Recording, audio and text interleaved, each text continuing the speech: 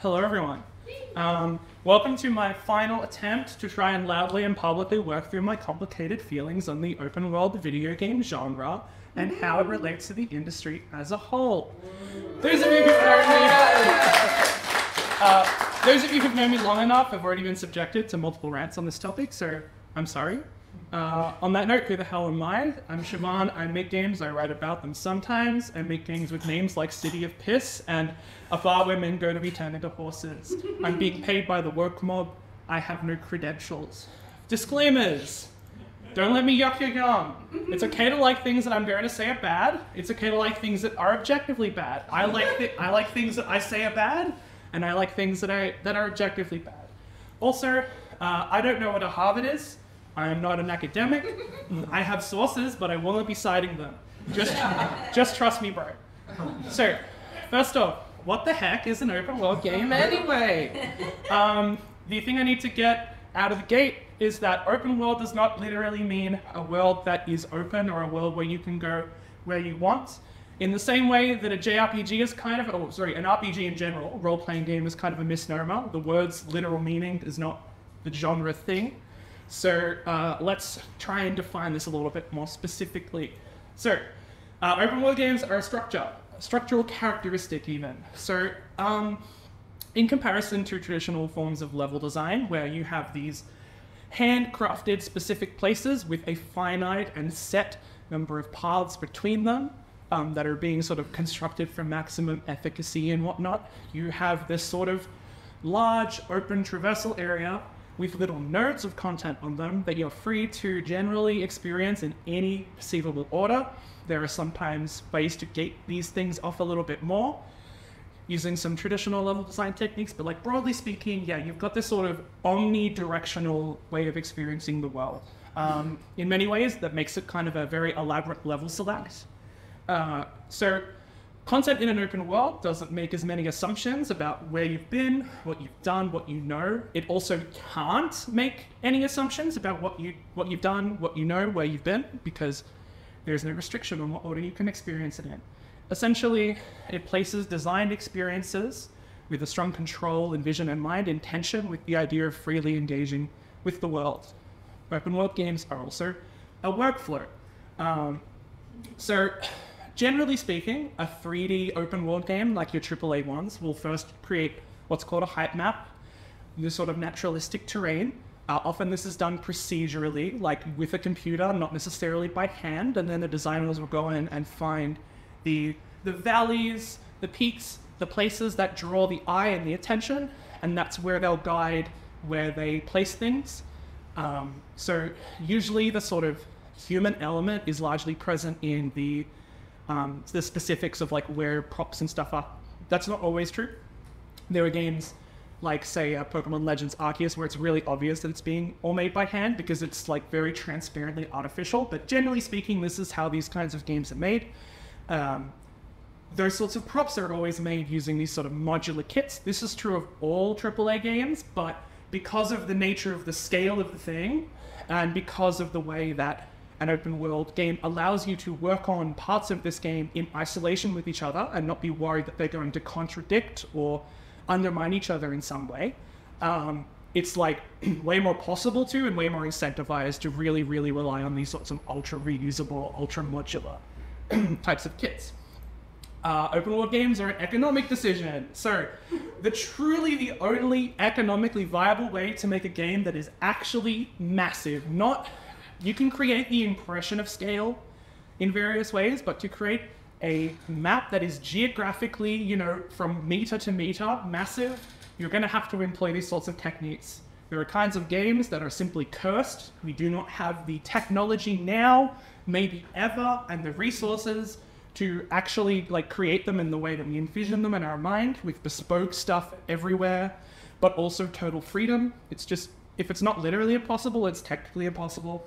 Um, we see this a lot also in like indie games with uh, simulationist kind of uh, ambitions. Like Hello Neighbor is a very funny example of a game that went through 100,000 different iterations, and you can actually see in real time this dev team slowly realizing that like there's a reason why there isn't already a game where uh, your your like facing up against one guy that is super intelligent and learns from every single thing you do, and the level constantly changes to account for the ways that you've tried to act in the past, and it slowly got filed down over time into its current form, which is basically like four or so levels of like a first person puzzler kind of thing.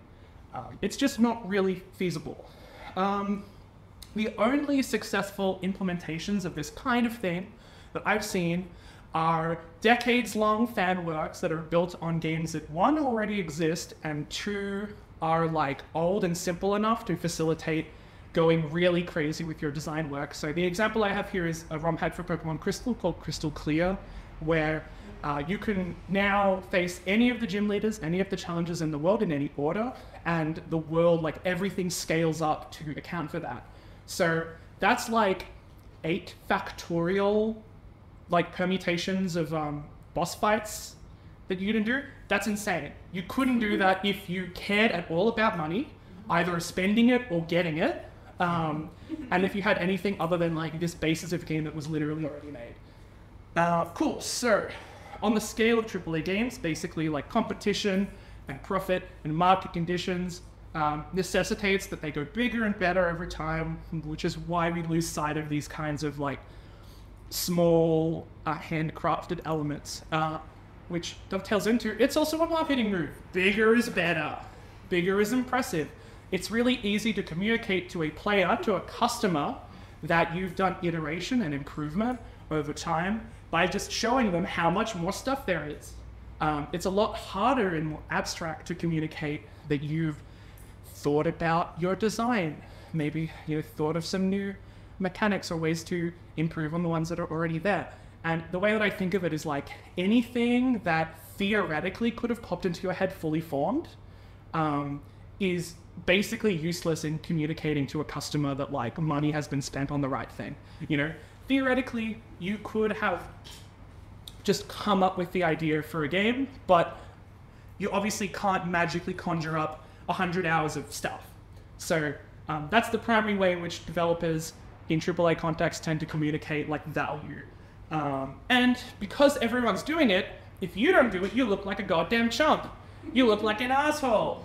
Uh, so we, there's a kind of an arms race element to it where everyone's looking at a way to either go open the world to compete or find a way to differentiate themselves from needing to do that enough to like secure their own existence or be comfortable in mediocrity, which uh, shareholders don't let you do. So cool, great.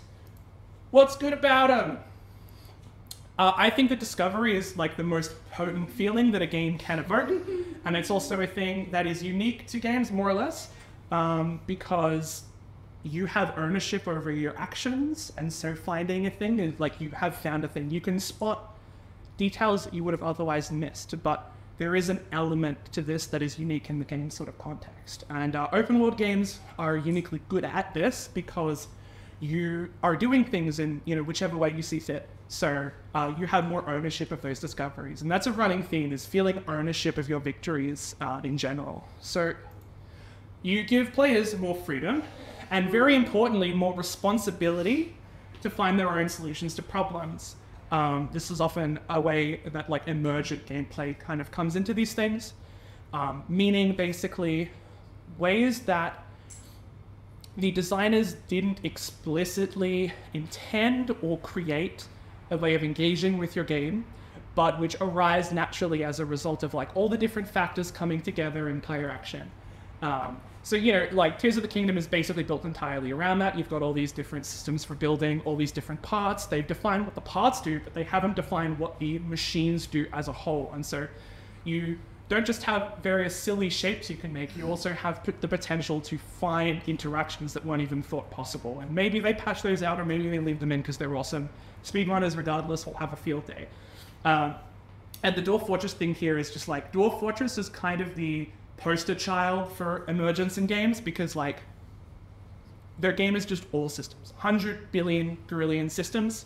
And the famous one is that for some reason, cats started drinking alcohol en masse and dying um, in one of the updates. And they had to, they, you know, they didn't program cats to do that, but it happened as a result of whatever was going on there.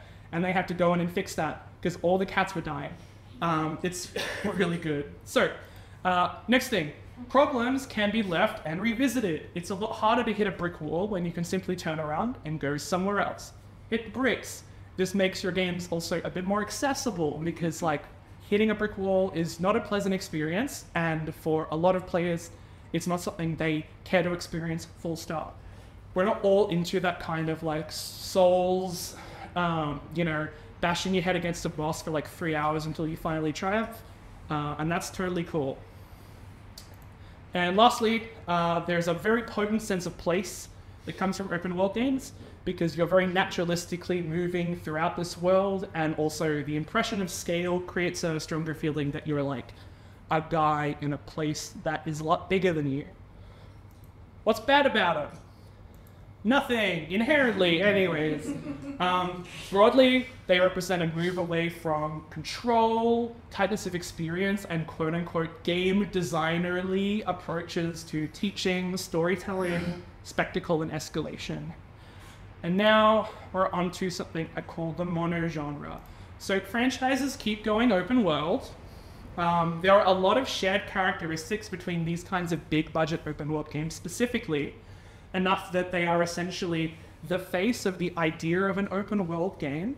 Um, they're the things that are being that are inspiring open world games being made. They're the things that they're being compared to, and I think they are deserving of a sort of subgenre, which I call derisively the monogenre. So, whoop, yeah, so what is the monogenre? Uh, the first thing is that core gameplay for these franchises is usually maintained completely as one-to-one as possible.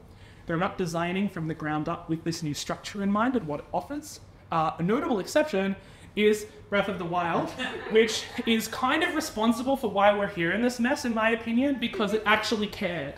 Um, He'd invented that sort of climbing and gliding loop that a bunch of games afterwards plundered in its entirety because it ruled, like Sable and um, and Genshin Impact and stuff like that.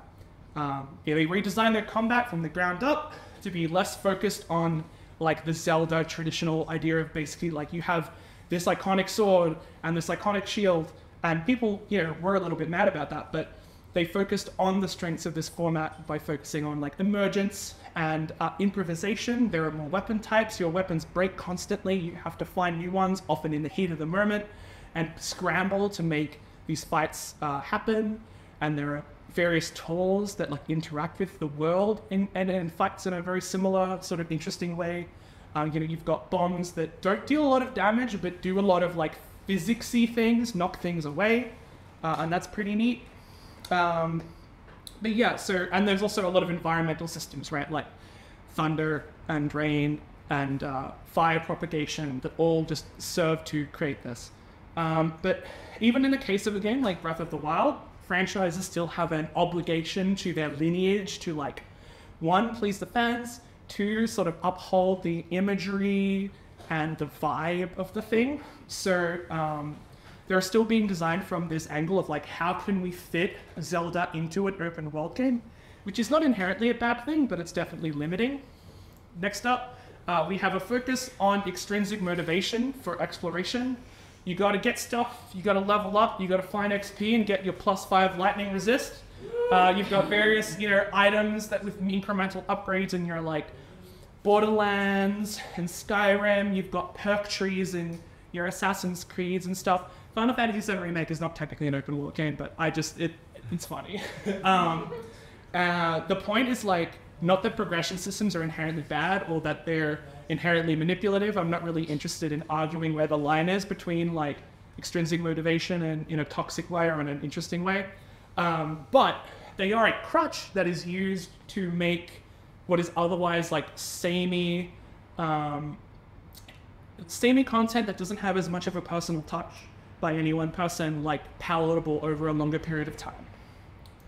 And lastly, we have, uh, I think not lastly, but we have this thing that I call the familiarity horizon. So, AAA open world games, because of the economic marketing reasons, are always going to be made as big as they possibly can, using the assets they have as economically and as broadly as possible. And so these games always have a point before uh, the end where the players have essentially seen everything the game has to offer, right? Not on a literal level, but in terms of the the tricks in terms of the mechanical side of things, um, you've more or less run the well dry, at least in like 80% of the things you do. And when there's nothing new to learn or find, exploration becomes uninteresting, particularly because these games have gone out of their way to make the whole thing structured around these kinds of extrinsic rewards. So essentially, you have to find your own fun or you burn out. This happened to me, for example, in Breath of the Wild when I got to the my fourth area. The, the game's roughly divided into four areas, um, which for me was the Gerudo area. When I realized that like every item I was going to get from here on out was at best a reskin of something worse than what I already have. Um, and I've already got like enough health and enough stamina and whatever to last me until the very, very end um, despite not going out of my way to try and become too powerful. So I'm like, okay, well, I don't really give a shit about almost anything that's happening now. I'm going to go do all the stuff that I know in front of me is unique, which was basically the main quest, and just blast through it. So I didn't really experience too much of this area. Um, yeah.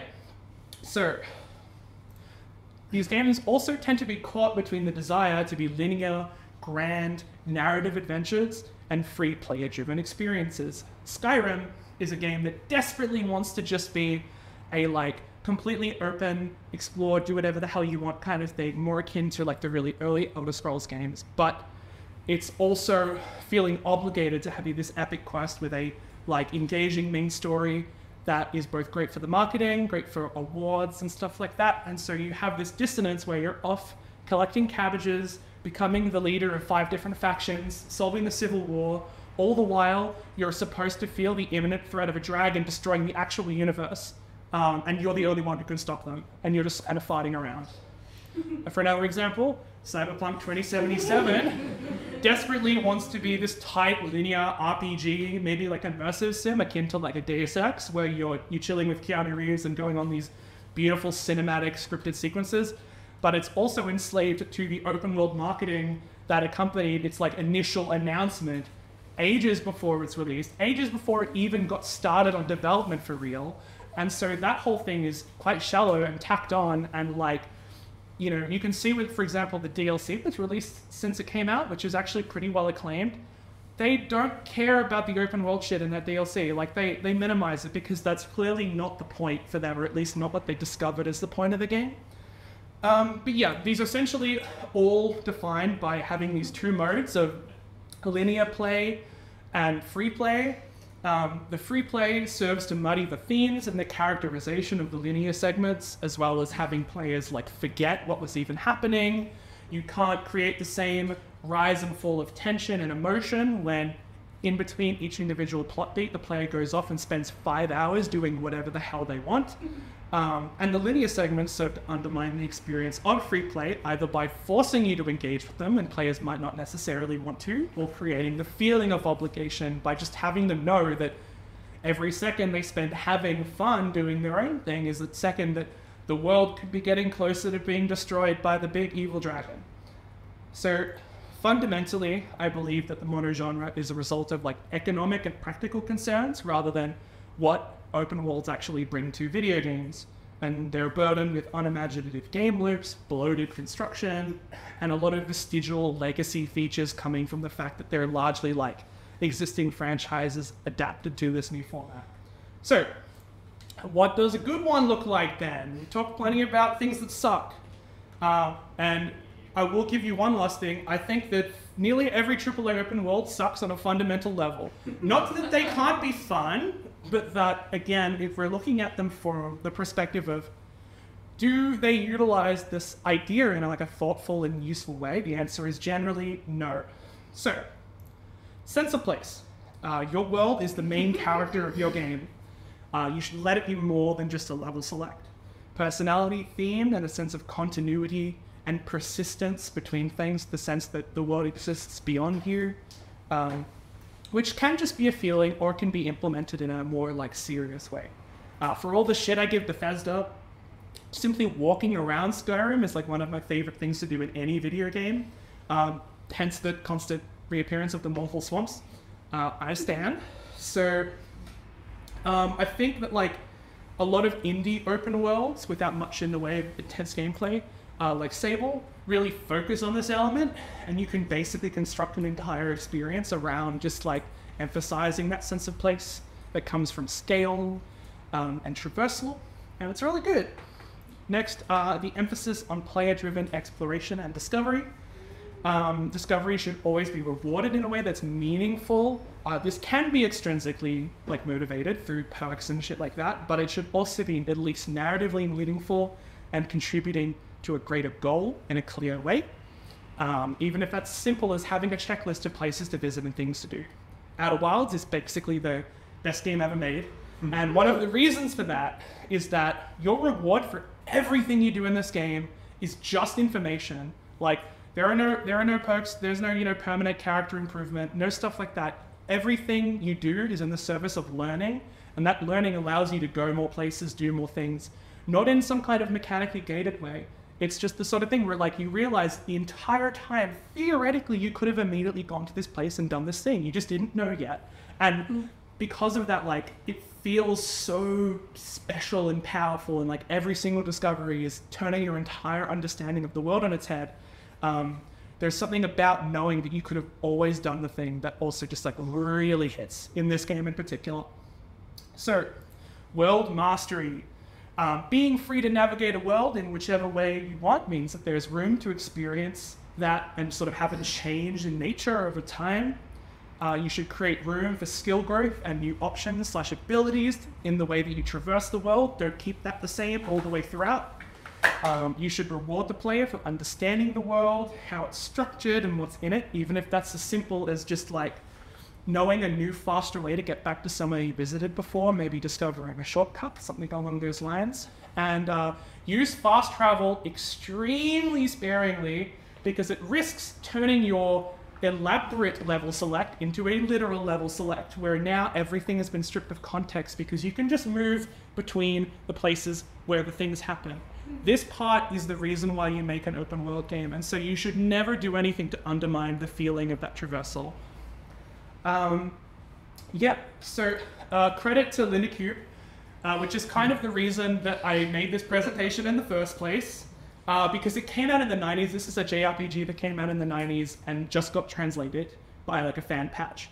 And uh, it is doing the open world thing better than like every game that has come out in the past 20 years.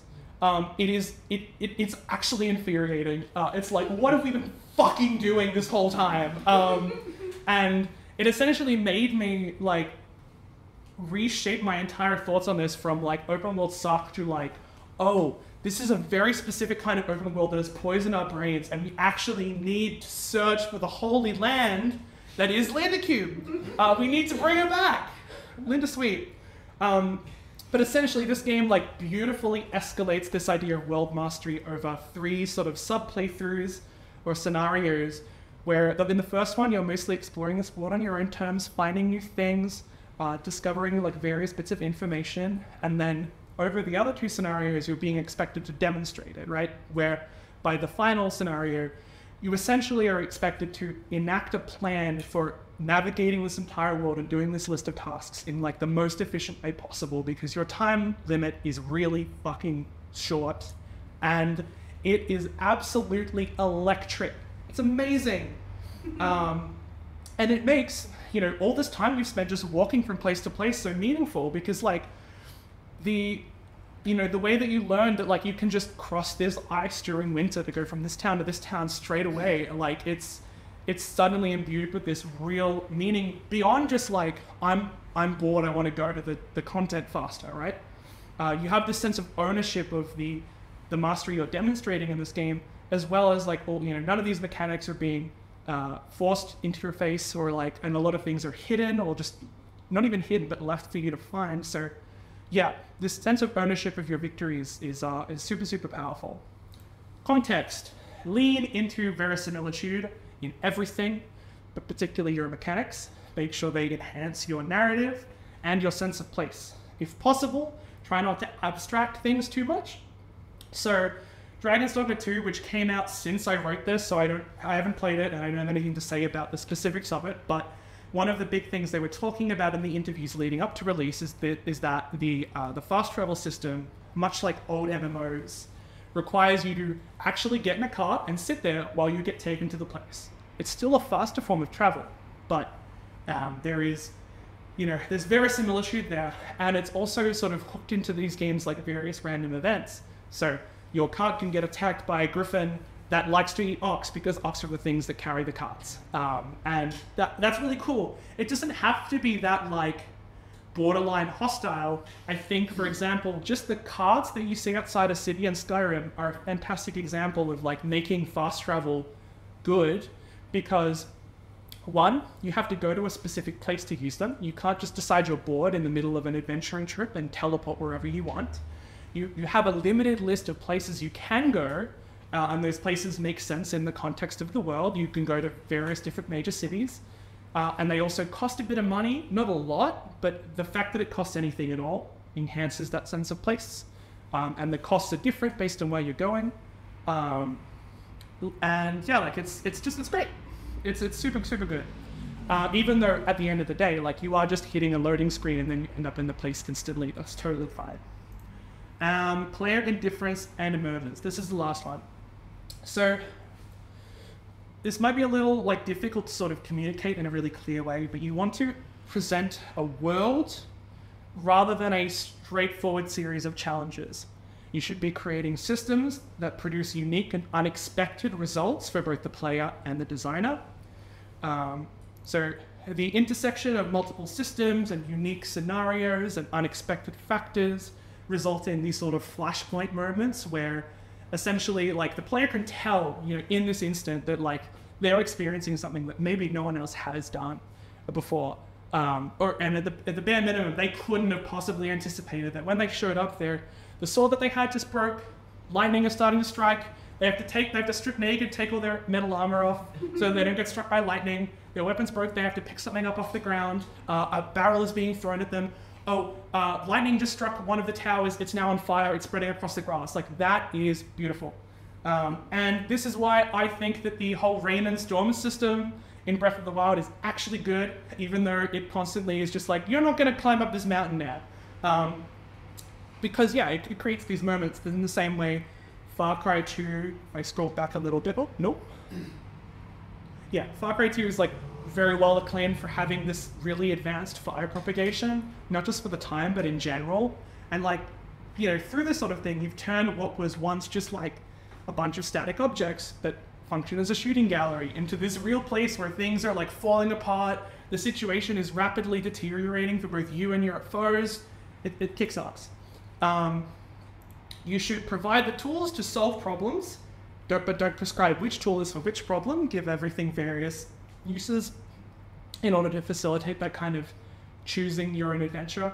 Um, and allow the player to both brush up against challenges that they're incapable of overcoming thus far, but also, very importantly, allow them to trivialize challenges that should be like impossible for them by being very clever or very lucky uh, to sort of circle back to our friend Margit here from Elden Ring, he's ostensibly like the first real boss of the game, and he's very hard, and you can always leave and come back later and like kick his ass, but there are also, there's an item somewhere in the world that you can find that will immobilize him for a period of time and make this fight so much easier. And it's so, so good that they added this, because not only does it like enhance your sense of this character in the world, it also means you get to feel like a goddamn if not a genius, then like a master adventurer for finding this thing and coming back, right? For having the, the presence of mind to like sort of shop around first rather than bang your head against this wall for hours. Um, it's really good. And if you're thinking about your game as fundamentally wanting to create strong memories and strong emotions, um, then you should be willing to let something you spent hundreds of hours on get completely trounced in a moment. Um, because yeah, as long as the experience is like memorable, this is the thing that people are going to tell their friends about, you know, and you shouldn't forget that. So that's all that. The last question I feel obligated to answer is, why do I care so much? So partly I'm deranged and I, uh, I hate fun. Um, but lately I've had a little devil whispering in my ear and he tells me something bad. He tells me something terrible. He says, you should try and make one. Uh, sir, I'll see you in 10 years, I guess. Um, that's my presentation. Thank you. Uh, if you want to see where my hubris takes me, I made a newsletter recently, and I will be documenting every way in which I get my ass kicked.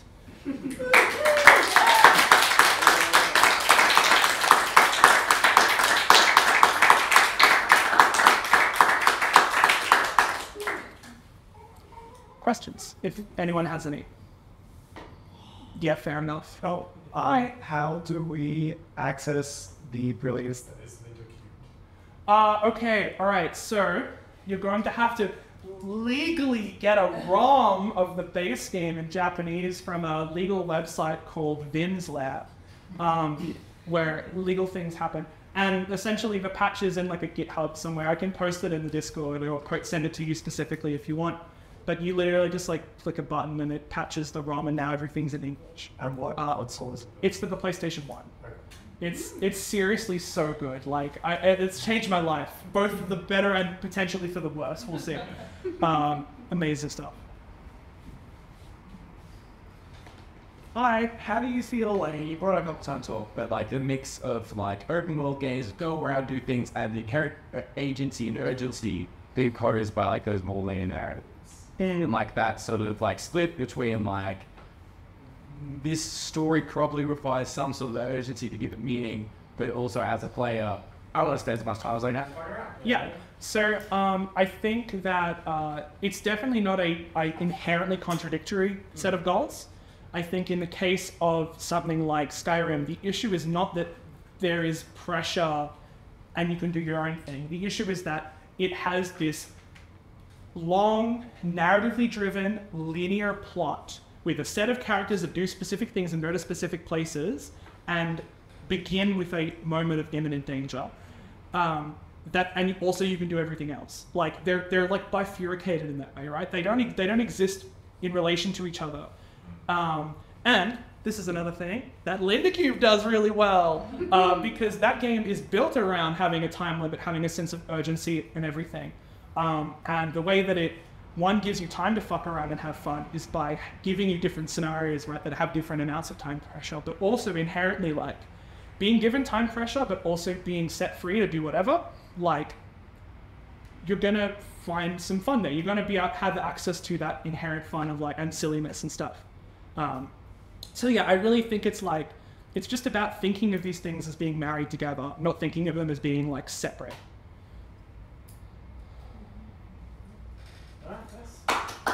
All